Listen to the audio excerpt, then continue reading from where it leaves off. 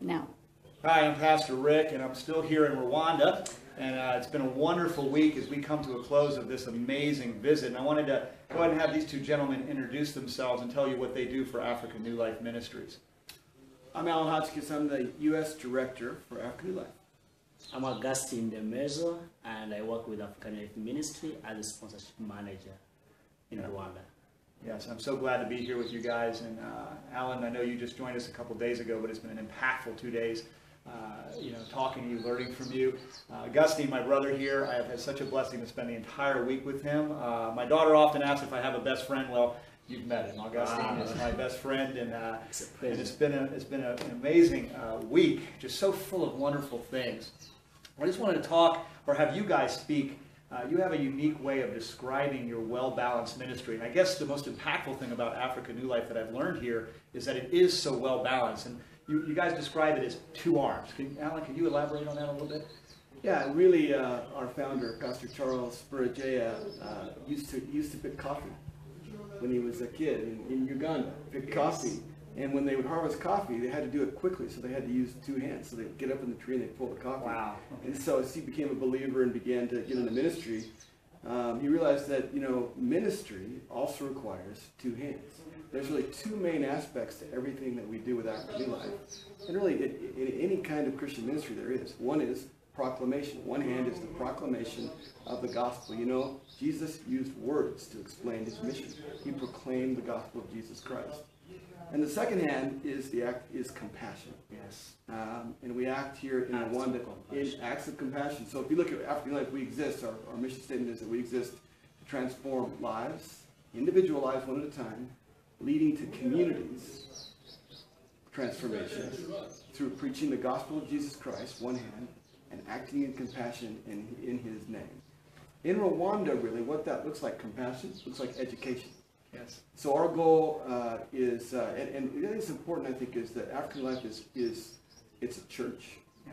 So just like McLean, like McLean is, you know, I've been in D.C. McLean is a powerful influence for the Yes, gospel. is. in Yes, you guys is. are able to figure out how to do that both in proclamation and, and in compassion. It's amazing. Mm-hmm. We're doing the same thing in Rwanda. It looks a little different here, but African New Life is the compassionate expression of New Life Bible churches, which are all over Rwanda. Yes.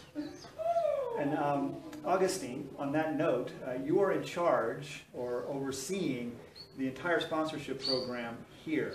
Uh, how many uh, children do we currently have sponsored here in your ministry? Currently, we have 5,436 Wow. sponsored children Wow, here praise in God. Rwanda. We have six communities that we are changing the lives of those children and those six communities. We have Bugesera, uh, where we have 663 sponsored children.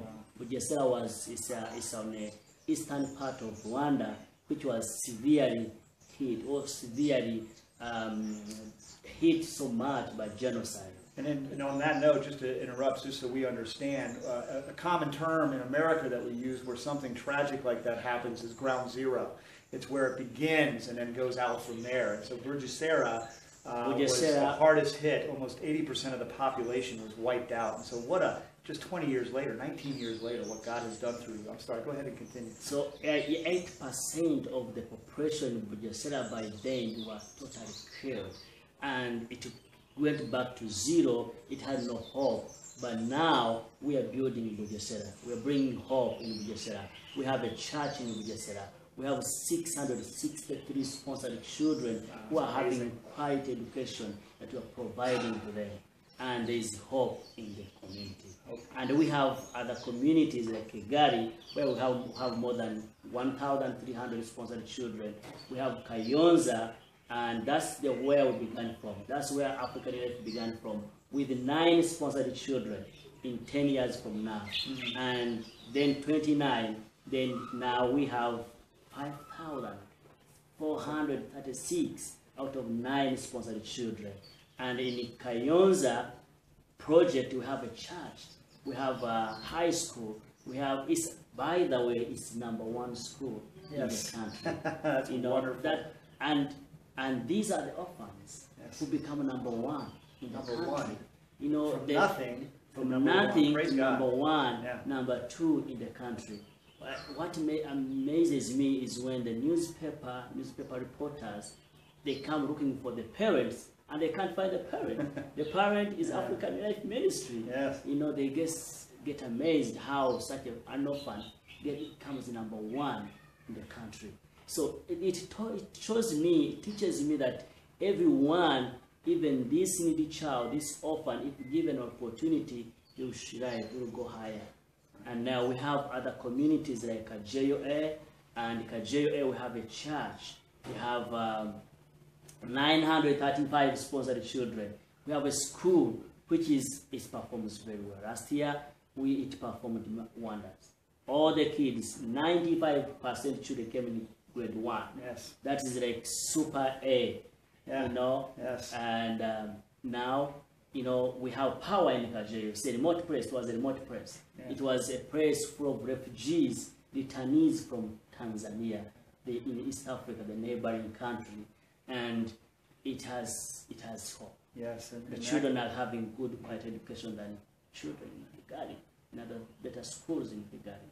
And there is power, there is water, there is there is there is life. There There's life. And there it is. And life. we have other communities like a JOB, people have just taken up. And there's Kirehe, where we're intervening now. And these are more than 3,000 returnees from Congo, sorry, from Tanzania. It's a neighboring country. And um, what, what did we do? We had to find a way of having intervention in this community because they they had returned from Tanzania with no hope. And 3,000 so what are we doing? We have put up a small, a big structure for for the church, for them to have that spiritual nature, have message of hope to them. We have supplied them with food. We have put a structure for the kids to go to school. We have 600 kids, Amazing. you know, going those, you know, having to You being tutored. And let me remind those who are watching this right now, uh, Kirehe is where we were when we filmed with Mike Stern um, about the need, and we had preached to 300. The amazing thing, since in just a few months, uh, this is a refugee camp, uh, but we have 600 kids going to school every day, um, and we have a church where they attend three times, Wednesdays, Fridays, and Sundays, um, so you can see the priority um, is these kids, not only their physical well-being, uh, but also uh, their spiritual, and, and to uh, give them the hope that only Jesus Christ can provide in such dire circumstances. Um, so, what impact? I mean, we use that word impact a lot in the church today, America, across the world, but we're talking about 5,000 children, really with absolutely nothing, who are now able, through sponsorship, have hope and life. And I'm going to let Alan in a minute elaborate on some of the impact, uh, you know, using numbers as Americans. Yeah. We, we like numbers, and, they, and God likes numbers too. They're in the Yes, Bible. yes. And so we want to talk about that. But sponsorship is more than just that.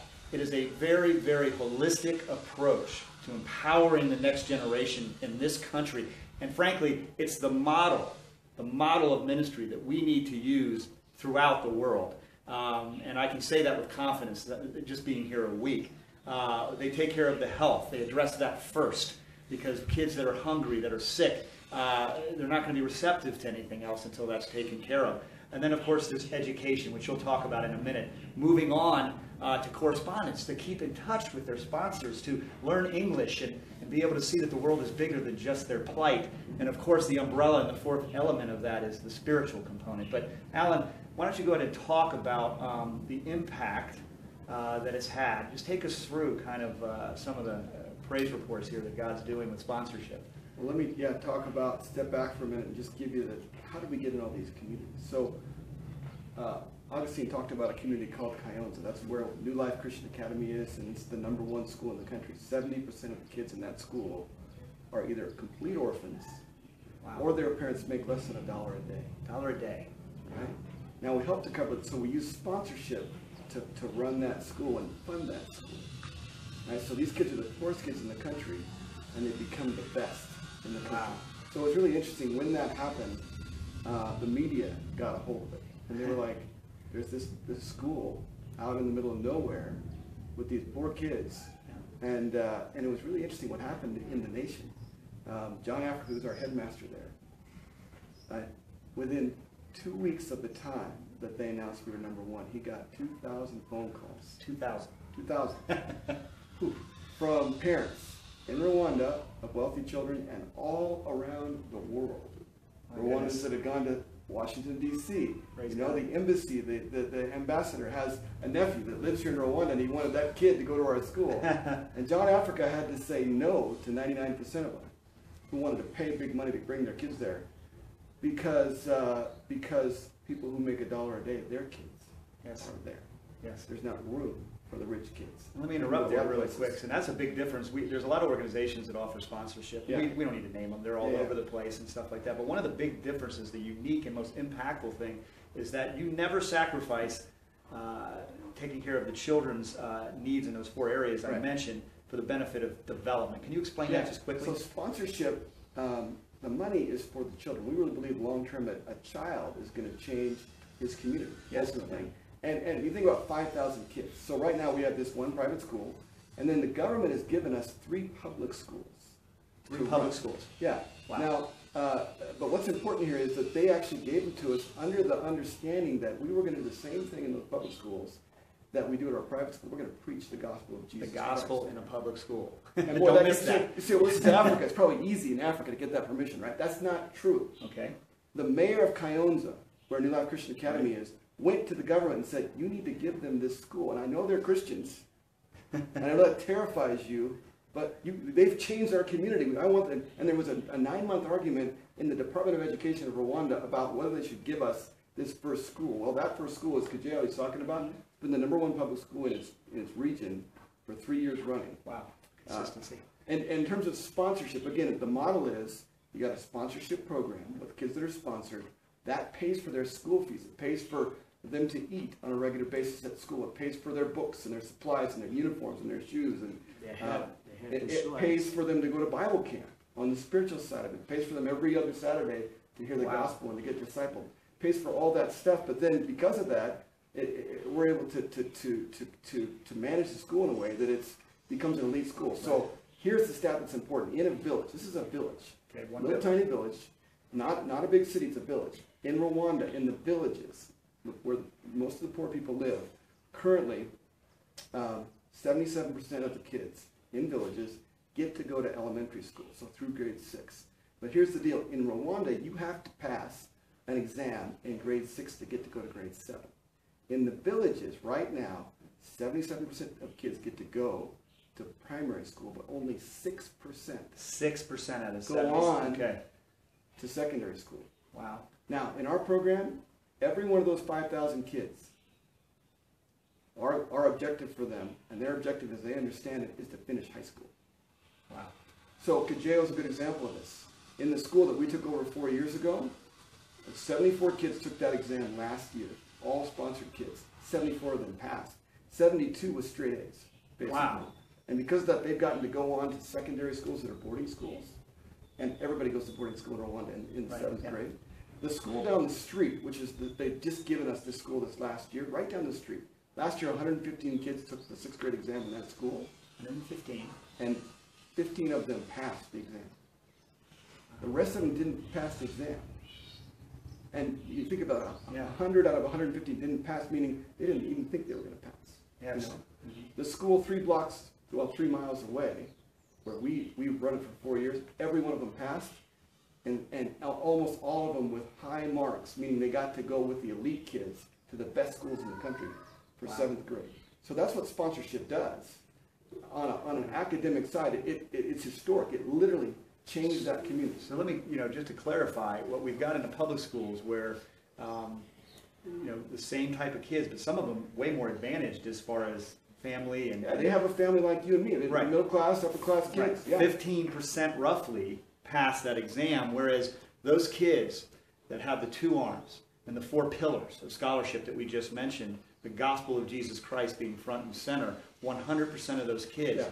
not only passed, but almost all of them were the top students in the country, enabling them to go to even the uh, uh, top schools. Yeah. Now, if that doesn't talk about generational impact, that we have these children from zero to graduating high school, some of them going off into college, some of them going into vocations with a great education, but more importantly, the love of Jesus Christ as Christians back into this community. And behind us, you see the beautiful city and sprawling suburbs of um, Kigali.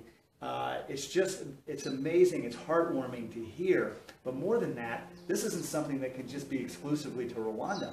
This is a very, very mobile, uh, multiplying uh, model of ministry and true disciple making for Jesus Christ. And not just necessarily coming in and sharing the gospel for a couple years, having converts, and then saying, hey, hope you do good, well in a Bible school. Uh, hopefully, God blesses you with food. We got to move on to the next thing. It is staying the course so that generations and generations are uh, building a Christian infrastructure here. And this has become a country of just hope and life.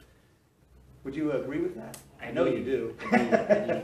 I do. I just want to mention a little bit about the sponsorship. Yes, the please. impact of Yes. sponsorship. Please. You know, uh, and also I'll come back. I'll come back on a little bit of development and sponsorship. Yeah. How they, it is interwoven. Yes. Because when you sponsor the individual child, this child will be is part of the community, of the cell of this community, and this child he will have the future, and he will come and support the village. He will support the the sisters. He will support the brothers, and that's the development we are talking about. Yes. And now, you know, that is the impact is you may see little money being invested in a person, but it makes a bigger impact. I was sponsored. I was sponsored with the gentleman from Alabama. I know he doesn't know how much he invested in me. I'm sponsoring my children never be sponsored. It ended with me. Ended. And I'm sponsoring my children. That's a great spo- point. I'm supporting my ch- the children of my brothers. I'm supporting my family. I'm supporting my dad, my mom. You know, that's That's- where the sponsorship comes. You know, Augustine, that is an important point. I don't want to go past that uh, quickly because the fact that, and I met uh, uh, Amon and uh, Pastor John also came through as they were sponsored children, and now they're uh, either pastors with New Life Bible Church or they're working in one of the schools with sponsored children. And they ended it like you. It isn't a generational thing where generation after generation needs to be sponsored. Once these children, this is backed up statistically, once these children are sponsored, that sponsorship ends generationally in that family. They then turn around and go back. If we could do that in every ministry, and let's just focus on the McLean Bible right now. Do you realize the impact we could have on the six million inhabitants of the Washington, D.C. area? That we could end poverty generationally because of this type of model of ministry. I'm sorry to interrupt, but I just didn't want to go past that very critical point too quickly. Please continue. Thank you. So that's what I mean about about ending the poverty. Hmm. You know, you sponsor me. You know, is you are giving that little money. You are investing in this person, and you are, it's a future investment because you have you are making the hope of this child become bright. And when he achieves his goal, his vision, her vision, Right. then he comes back, supports the community, Absolutely. supports the brothers, and and that's how it makes impact. doing those hope visits, and this is what we, when we visit families, um, you know, we call them hope visits. These are children waiting uh, for sponsorship, and we pray with them, and we bring them um, some things for their immediate needs so they can cook and make meals.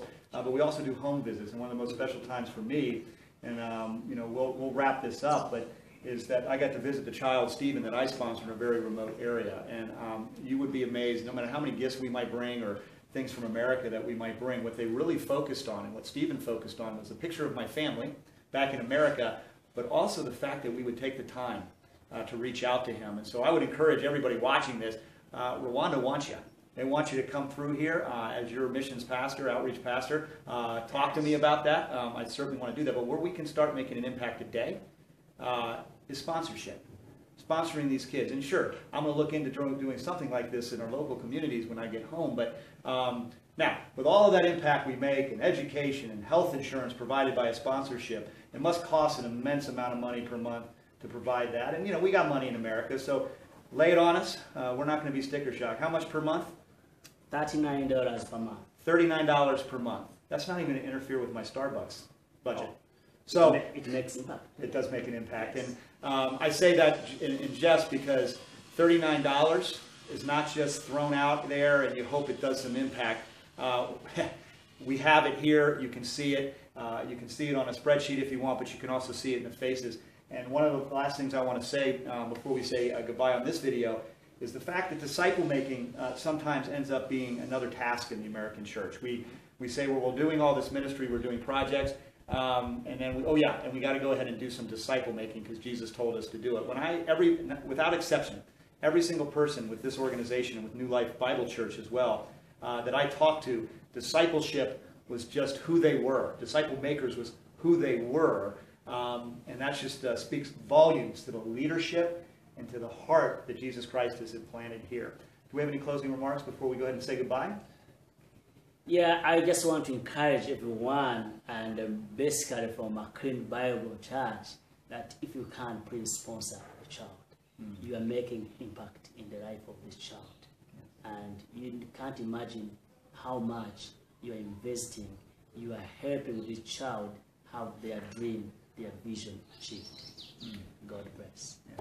I would add to that that when you sponsor a child, you're really caring for a family and a community, especially the family. I just my story really quick is I sponsored for the before I was working for the ministry. I sponsored a child in 2006 here in Rwanda, in Kigali. Right. And I remember when I went to see the child for the first time, went to their family. Her dad was a butcher, worked for a butcher, actually in a butcher shop, and he made sixty dollars a month. Hmm. And uh, I realized, you know, this is real. I mean, Yeah. this thirty-nine dollars a month, we pay it directly to the school, so it's not gonna go to the family. But what it does is, um, it takes the burden of having to pay those school fees off of that father. So I sponsored this little girl in May of two thousand six. Right. Two years ago, the dad called us Wow. and he said, you know, because you've, I sponsored his girl and there was one other girl in the family that somebody else sponsored. Um, he said, because you guys have invested in our, our kids' education, that took the burden off me. I was able to save some money. And I bought my own butcher shop. Wow. And in fact, now I have three of them Wow. and I don't need you to sponsor my kids anymore. So when you talk about sponsoring a child, you're sponsoring a family. That's what's really happening. You're giving, you know, the Bible talks about a load, you know, that each one of us needs to carry our own load, and then you have a burden. And in this community, the load is, I mean, just like our load as parents. My load is to, is to care for my kids and raise them up to know Jesus Christ. Yes. To, you know, but then my, the burden here is education. Yes. So we help with the education, but by us doing that, then his load is lightened, Yeah. and he can do more with that money. Yes. And the integrity of um, ending the sponsorship because now not only did he we transform the family through Jesus Christ and sponsorship, but the community then is transformed Exactly. because there's more jobs. Yeah. And uh, boy, it's a simple thing we- if we just stop to complicate it. Well, this has been an amazing talk. Um, today we depart uh, just for a little while, but I just wanted to say God bless you and remember the proclamation of the gospel and acts of compassion. We'll see you soon. God bless.